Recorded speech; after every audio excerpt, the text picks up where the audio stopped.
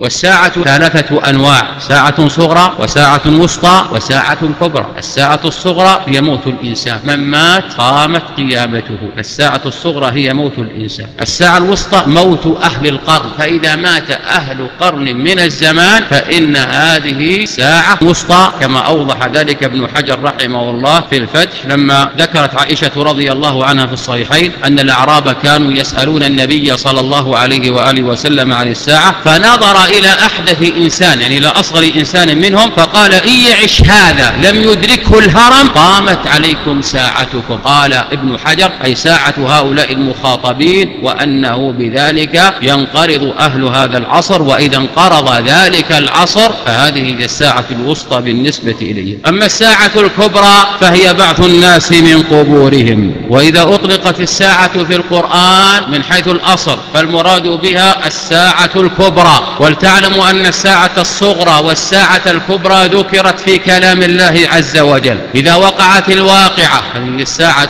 الكبرى. الساعة الصغرى قال في آخر السورة في سورة الواقعة فلولا إذا بلغت الحلقوم وأنتم حينئذ تنظرون. يعني قامت ساعة هذا الرجل بموته. وكذلك ما ذكره عز وجل في سورة القيامة لا أقسم بيوم القيامة. هذه الساعة الكبرى. وذكر الساعة الصغرى كلا إذا بلغت التراقية. يعني بلغت الروح التراقي. بمعنى خروج الروح من بدن هذا الإنسان.